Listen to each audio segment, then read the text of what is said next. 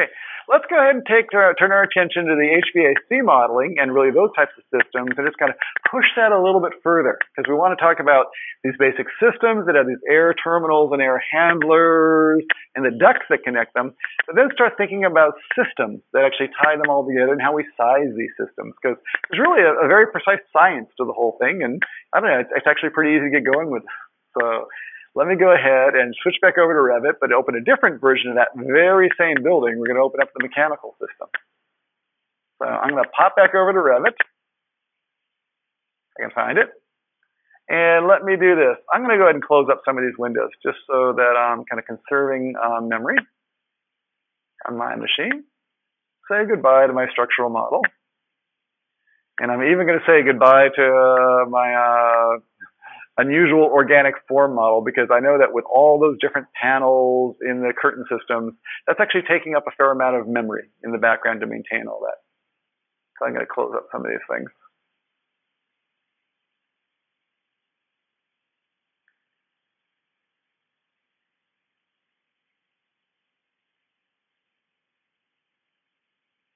Okay, hang on. It's doing a little redrawing. I think it's probably trying to come up with the uh, curtain wall now. Let's see what it's doing. There we go. And as much as I love you, I'm going to say goodbye to that. Although I, I did think that was kind of a cool building.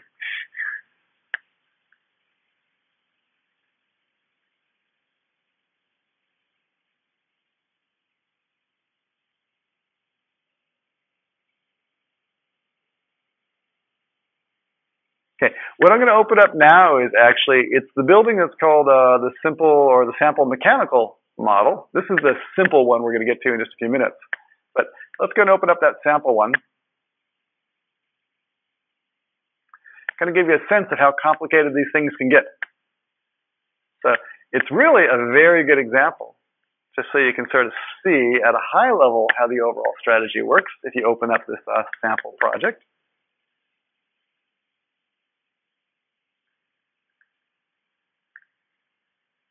it's a coming.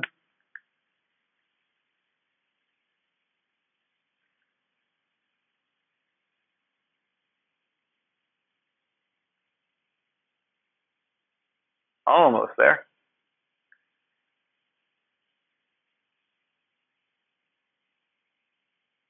There we go. So this might kind of knock your socks off at first, but it's uh, let's kind of take it apart little piece at a time so you get a sense of what's going on here. I'm going to go back to the back end of the building because I think it's sort of easy to understand well, what's going on back over there. Yeah. In this building, you'll see there's a lot of different things kind of happening. Um, let me just hide the, these are lighting fixtures. Those are lighting fixtures which are uh, in the uh, ceiling plane. Let me just turn those off, although we do need to be aware of those ultimately when we're placing our air terminals and our ducts to, to make sure we're watching out for them. Simplify our view a little bit. Okay. Now you can basically see there's a lot of different kind of ducts kind of floating around in here. And let's see if we can figure out what's going on here.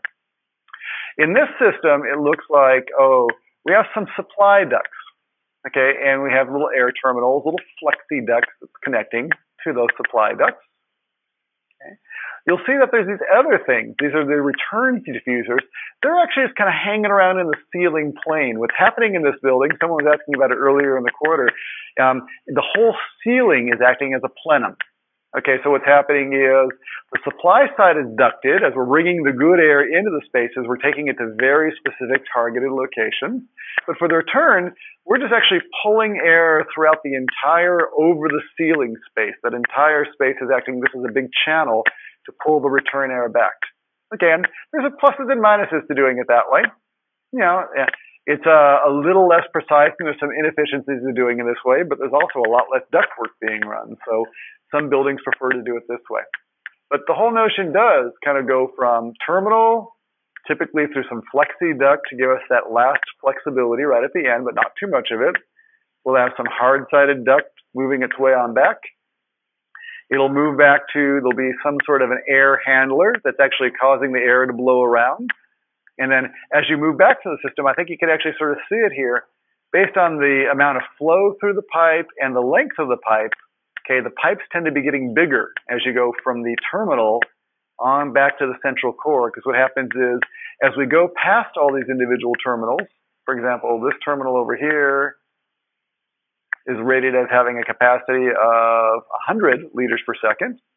This one over here is probably another 100 liters per second, but what happens is we pick up more, okay, it's getting to be 200 and then moving back to 300. There's a lot of more flow running through.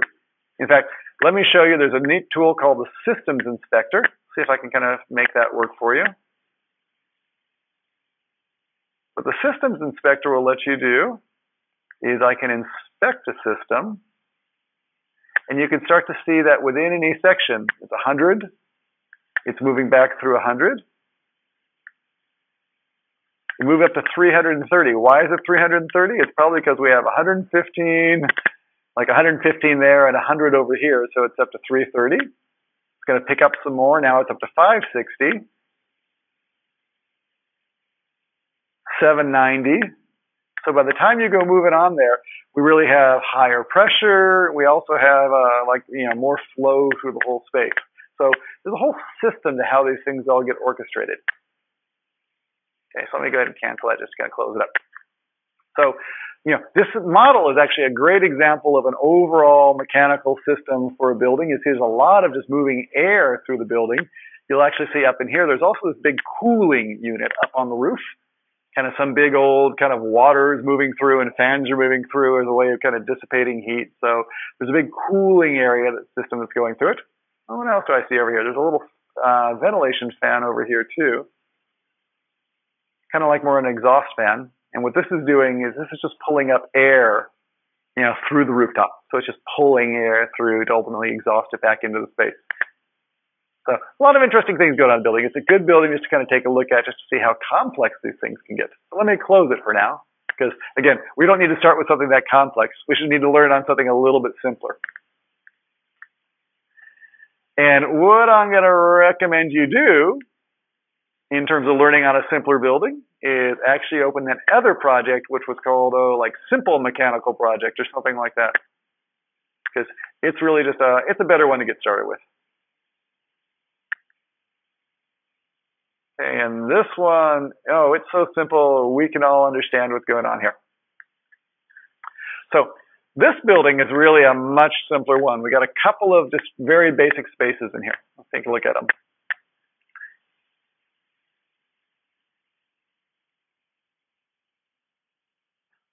No worries. We're, we're, we're kind of hanging and we hear your microphone. So if you want to mute, that's fine. Or jump on in.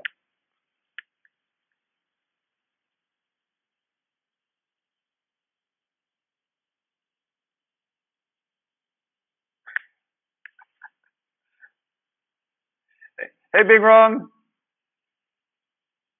Oh, no worries. We can mute you if you need. No, I understand. Oh, no worries. I'm going to mute you right now, and you can unmute when you need to. So, not that we don't want to hear from you, but actually, yeah, if you need to, yeah, just go ahead and unmute yourself. I think that should work. Okay, so we got this pretty simple building here. Let me kind of explain what I should put into the building so far, just to get ourselves started. Okay. There is this notion of, you know, really two different spaces here. I have a big old space and I have a secondary space over here. I got some walls between them. Maybe I should put a door in there. Maybe I'll bring in a door family. I haven't put anyone in here, anyone in here yet. So I'll put in a double flush door over here. Oops. I'm looking at it in a 3D view. It's not going to let me do that.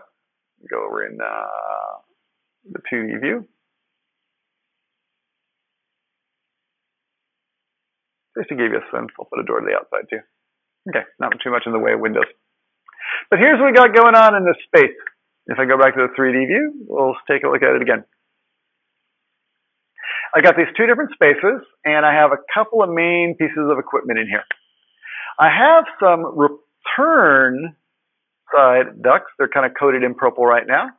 I have some terminals and some ductwork that connects it back to an air handler. I have some supplies over on this side of the building. So this is a real simple system. All that's really going on in this system is we have, oh, kind of these return terminals, kind of, or supply side feeding air on this side of the space. We have some return on this side pulling the air out, and hopefully it's all balanced. That's going to be one of the things we really sort of care about. And let's see if we can uh, just uh, you know rebuild that system for you so you get a sense of really how it all works. Okay, so how about this? Just to build the system, well, actually, let me do this. One more thing. Let's uh, show you another aspect of it that is useful just in terms of understanding what's going on.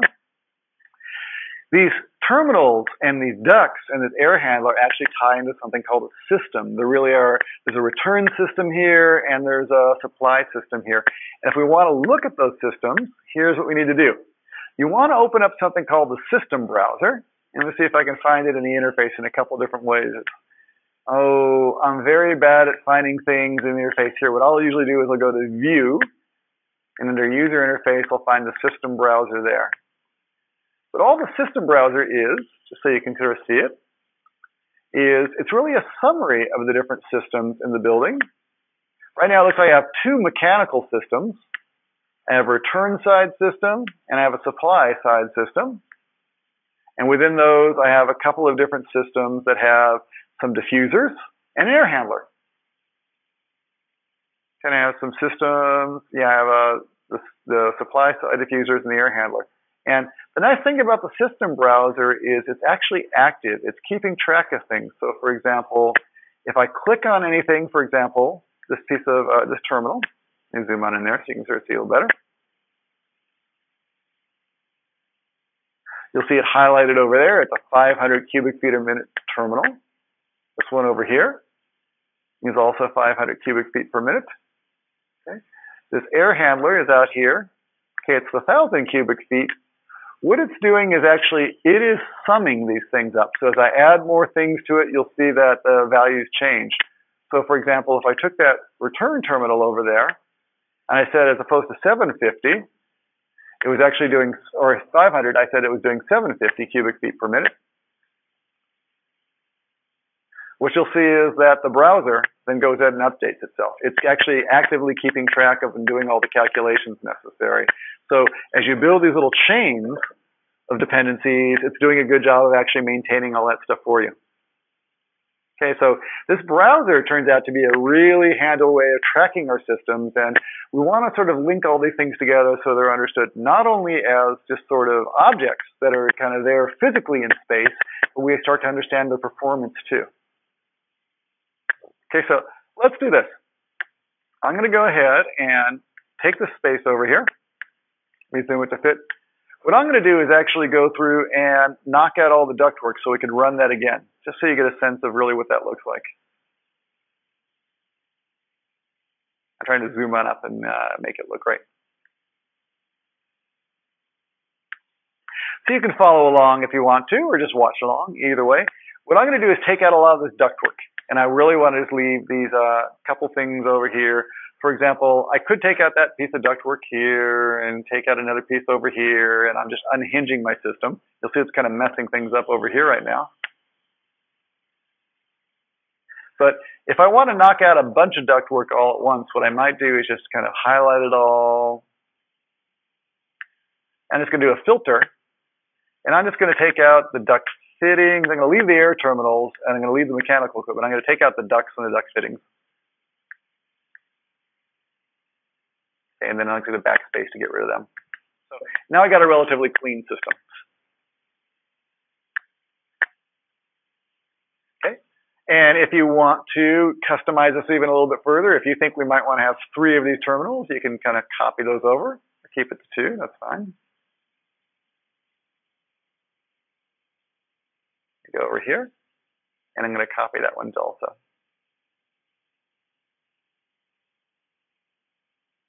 Just because I'm trying to keep it in balance. Okay, let's see what this is. That is understood as being a return diffuser. Excellent. That's understood as being a supply diffuser. Great. Okay. Before we start running all the ductwork, let me sort of explain a little about this whole notion of systems and how things become systems. Because these two piece of these two terminals over here, they're currently understood as being a system. They're not only sort of a single terminal, but if you do a little tabbing right now, you'll see it's actually understood as there's a higher level thing, a system, a duct system. It's kind of almost like beam systems. There's a high level concept that links them, all, or links them all together. So this is my so return air system right now. my return error system looks pretty good right now, except I've actually added a new terminal here.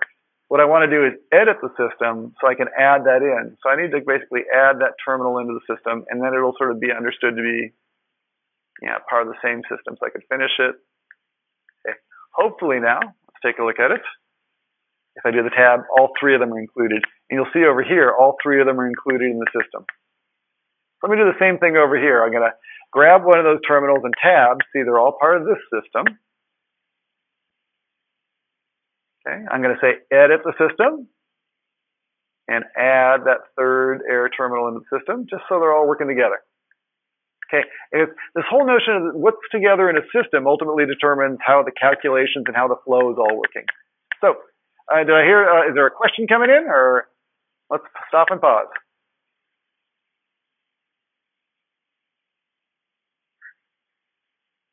Feeling good? Okay. If you're feeling good there, let's go ahead and start thinking about uh, the ducts and how we run these things. So here's the deal in terms of the ducts and oh, all these different things. What I like to do, just because these air handlers sort of confuse me a little bit, is I'll often come to the air handler, choose it, and you'll see it has ins and outs. Okay, it has an electrical in and out, it has ductwork in and out.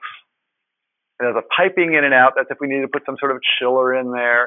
What I'll do is something like this just to get myself started, just so I can keep track of what's the in and what's the out. If you actually click on this little guy right here and say create duct and kind of pull on out, okay, and it'll go through and give me just a little piece of duct work to work with. It's the size it needs. It's sort of basically putting a piece of duct on both sides now that matches the size of uh, the opening.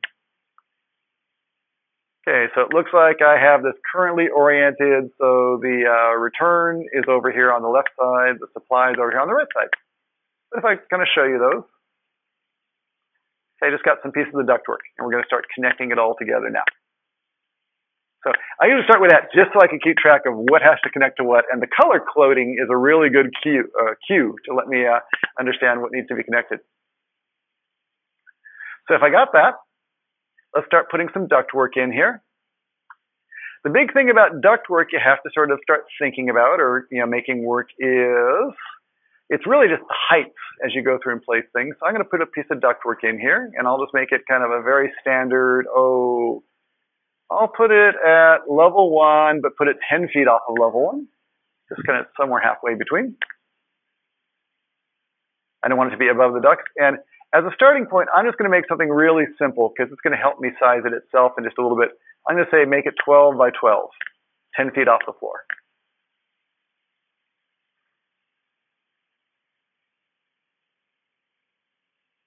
Let me come over to this side first.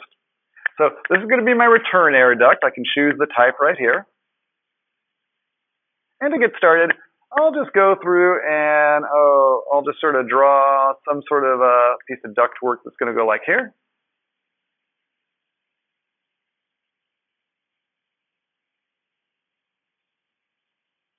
Okay, I can keep on drawing that in individual sections and pieces. But what I'm going to do is actually, I'm going to come close, come back in here, Notice that's still a little bit separate. If I trim them together, it'll kind of put the right connection in there. Same way over here, I'm going to go through and put a duct over here. And again, I can trim that or I can extend it. Either way, that'll sort of work. It'll join them together. But it tries to be very smart about putting all the connections in. And then I'm going to do it over here also. I'll just tee that right in there. That'll do a pretty good job. Now it's looking pretty good on the uh, kind of return side.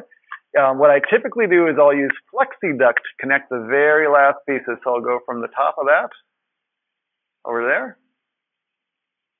top of that one over to the end of the duct, top of that one over the duct. Let's just pause there for a second and see how that's looking.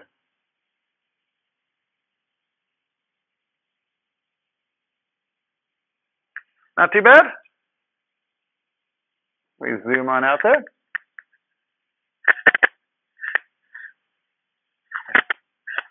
Okay, um, let us do this.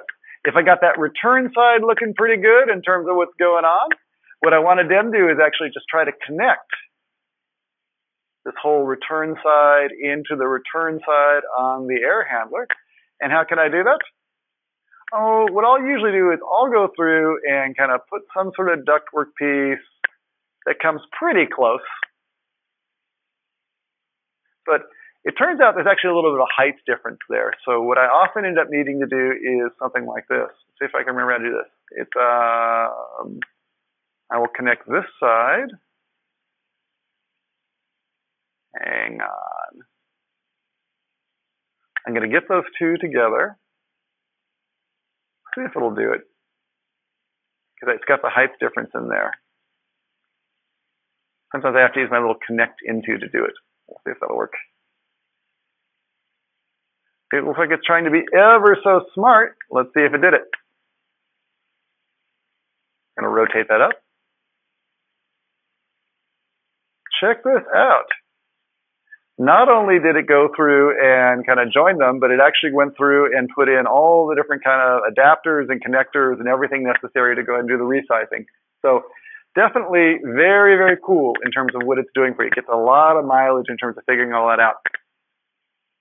Okay, so that's the whole return side of our system.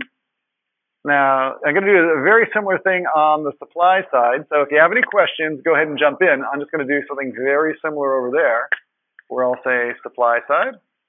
And yeah, but please, you know, if you have a question, jump on in here. Let's get them answered.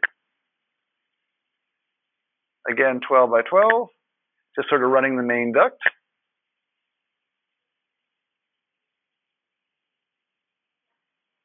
Come on in here. I'm going to sort of, again, come close, but not quite touch it. I'm going to escape out of there so I can kind of do the next one. Again, I'll kind of keep it close, but again, not quite touching. And again, over here, oops, too far. Ever so close, but not quite. I need a little bit of flexi to kind of complete the system, so I'll put some flexi from here to here. Now, the reason we don't like flexi all over the place, flexi is very, very nice in terms of being able to dimensionally kind of get things wherever you want to, but there's a little bit of an efficiency loss. It's not as good as kind of a nice, smooth, hard-walled duct.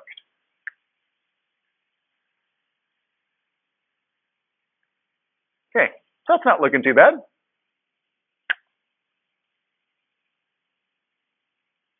What I now want to do is very similar to what I did over on the other side. I'm just going to go through and kind of bring something close.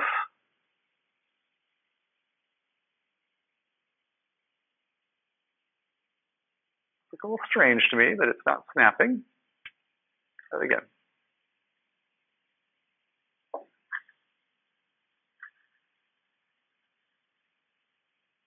Oh, that's flexi. That's why.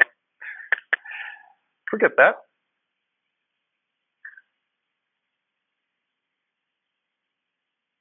Hang on. I'm going to undo that. Try that again. Hard-walled duct. That's looking a little bit better. That's kind of what it more I had in mind. Okay, and then I'll do the same thing where I'll join these down.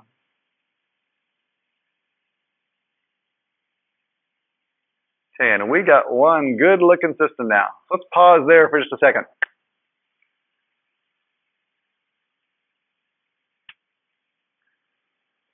So in terms of what's going on here, any questions? It's really this whole notion of kind of linking things together, but we did it in sort of a very specific order. I like to get the uh, terminals and the equipment in place first, link them together into a system, and it's kind of weird. You actually almost add the ducks in last. Okay, we're a little out of balance in my system here. You might see that I got 2,000 on one side. I have, oh, yeah, 1,500 on the other side. So I probably need to go through and make some changes over here too. Maybe that one's a 750. And that one down here is also 750 because you like these things to stay in balance.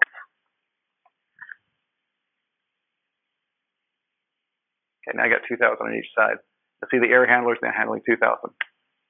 Okay, let me pause there for a second. In terms of, we got basic ducting going to terminals and an air handler just to blow all the air through, pulling all 2,000 cubic feet a minute from the uh, kind of pinky ducts heading to the bluey ducts. Does that make sense? Let me just pause and see if there's any questions. Ah, typically, ah, okay, well, so let's see what the questions are here. How much is the depth of the ceiling? Very good question. Um, it's really as much as is necessary to kind of hold that duct work and the electrical and the piping. I would say it's very common to be like two to three feet. Okay, it's depending if you, you could be need to be taller, just if you have a whole lot of mechanical equipment if it's there, but two to three feet is actually pretty good. And how do we bring the ducts to multiple levels down? That's another very good question. Basically, what you want to do is if you want to run a vertical duct, okay, this is the one that always kind of is hard for me. But let's see if we can make it work. If I'm running a duct and I want to like run a duct just horizontally, okay, that actually works out really well. If you want to run a duct vertically, what you do is you put another value in here, like zero. I want to take it down. Okay, and now I'm running like a vertical duct. Oops. Let me put the zero in there now. I guess I'm at zero right now. So yeah, now I'm going up again. Hang on. It, basically, you, you end up putting a different offset in there. So that's there. So the offset of this one's going to be 30. Okay, and now I have a vertical duct. And I can go back to horizontal again. So, you know, basically what's going to happen is typically in your core, if you'd have a core, or at least in some mechanical space, we'd go through and kind of add those vertical ducts in there. So that makes any sense. Uh, the minimum ceiling height, the unobstructed ceiling height. Oh, that's oh, you mean the you mean for the the, the people below, or up in the ceiling plane? Uh, a minimum ceiling height. Let's talk about that. You mean you mean for the the occupants? Is that correct? Yeah. Yes. Oh, you know, for, for the occupants, it's interesting. It has to be well. It's typically eight feet. Um, I think the absolute minimum you can get away with is like seven or seven foot six. In fact, if you want to check it out, go downstairs into Y in Y2E2 and check out the mezzanine level. There's a very low ceiling in there, and I think it may be seven foot six there or something like that. But there's a code requirement to it. But I think eight feet is typical for what makes people comfortable. You know, when it's less than that, people start getting comfortable, uncomfortable. I think it's, it's either seven or seven foot six. I don't remember right offhand. Okay, so we can run some duct work. I have some um, unconnected duct work over here right now. Let me just take that out just so it's not bothering us. But vertically, again, if you want to run vertical ducts, it's just basically take a duct. You're typically running at the same offset relative to the floor. It's basically if you change the offset, okay, it's going to interpret that as being a vertical run and then you're basically back to horizontal again. Okay. Last thing we want to show you today, just so you sort of understand this, is hey, I've been putting in all these ducts. I've been putting in these 12 by 12 ducts. I got a 12 by 12 duct over here. I got a 12 by 12 duct over here. It got a little smart over here in terms of there were some bigger ducts when it needed to connect into the air handler. But you might be asking, you know, is this thing really kind of adequately sized right now? And we can use, based on all these cubic feet per minute, a little uh, kind of smarts to go through and figure out what the sizing should be. Let me show you how that works. Just to finish up for today. If I choose the whole system, let me choose all those. What I did was I just tabbed. Let me just, uh, I select over one, I tab, I got a single branch, I tab the third time, I got the whole thing. I'll click there. If you choose a whole section of duct, you can choose the duct and pipe sizing calculator. And that sounds like a pretty fantastic thing. You can go through and choose to size your ducts based on friction, velocity, or some combination of those things. For example, if I want to sort of consider velocity, oh, and duct sizing is very important. If ducts are too small, you have problems where they're noisy and you generate static. Um, there's a whole science to how you choose those things, but we can choose a criteria, uh, what it is we want to drive it by, in terms of the friction or the velocity or equalizing the friction, whatever it is, or the static regain. Let's kind of choose it based on velocity. Okay.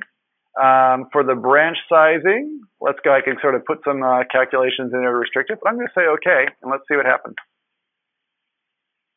It's doing a little calculations right now, kind of based on my criteria. And with any luck, let's see what it does.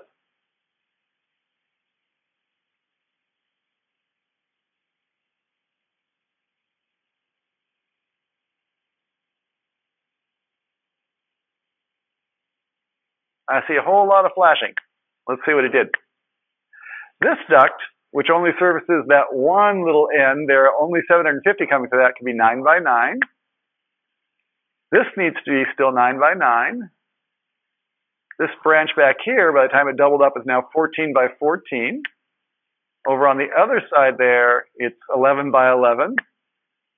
It's getting up to 11 or 17 by 17. And finally, getting up to the 17 by 17, which is what it could use to actually connect in based on the velocity and the criteria we gave it. So it just got to be very smart based upon uh, the uh, precise requirements of what went in here about resizing the ducts. If I would go through now and add another terminal somewhere along the branch and increase the capacity, that duct sizing would probably change. But that's okay, the model can take care of that for us. So I'll do the same thing over here. I'll say duct sizing say that. Let's let it do its work on that side. That's really the idea behind this is really if the model is not only just kind of a nice graphical representation, but it really is starting to represent the physics of the situation. And we actually do have accurate control over the cubic feet per minute that need to be moving through and how they add up. That in the same way that we can resize the beams, we can actually start very smartly sizing the system. So you don't have to just be guessing about how big the ductwork is. The ductwork can actually be very systematically uh, sized to be exactly what you need to go through and meet those requirements. And that's really the big lesson here. That's what it's really all about with duct sizing is that you always want to, you know, have ducts that are appropriately sized to kind of meet your design requirements, and the model can do that for you. Okay. Last concept to leave you with today is there are these different notions of these rooms in here, and you're going to see that they actually show up in a concept called, let's see if I can find it in here under the Analyze tab. I always have trouble finding things. Oh, I have to do in a floor plan view. It won't work in 3D view. I can create something called spaces. So I can say that's a space and that's a space. What are spaces all about? Spaces are all about really how the rooms are being used. So if, for example, you choose that, you can start to think things like, oh, you know, the total amount of cubic feet per minute moving through that space, we can start seeing a little bit about the space type and how it's used. For example, if it's heated and cooled, you know, really what this is, whether it's a classroom or if it's a, you know, corridor, if it's an audience seating area. And this is where we can actually start to say how much space is needed per person, how much heat is being generated by each of those pieces, persons, you know, what are the power requirements in those spaces. That's where we're going to go next time is once we just basically get the air moving, the notion of spaces is then going to let us talk about the use of the building itself and really ultimately, you know, what's going to be necessary to drive the heating and cooling system to make sure that it's sized appropriately. Same thing with the loads. We control, you know, issues about the people that are in there, what the air changes are per people. But all those things that we talk about as principles that are going to drive the design, we can encode those right in the model like we put the structural loads on and then use the model to help us compute those things. Okay, so that is for next time. But hopefully this made sense in terms of just making some very basic ductwork into the building. Let me go ahead and flip back over on this side and see if there's any last questions before we wrap up for tonight.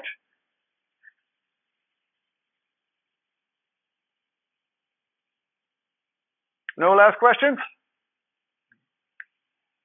Okay, if there is not, let us adjourn for the evening. Thank you all for attending online. Again, we'll put oh, we'll put this out. Uh, Vicky, you got a question?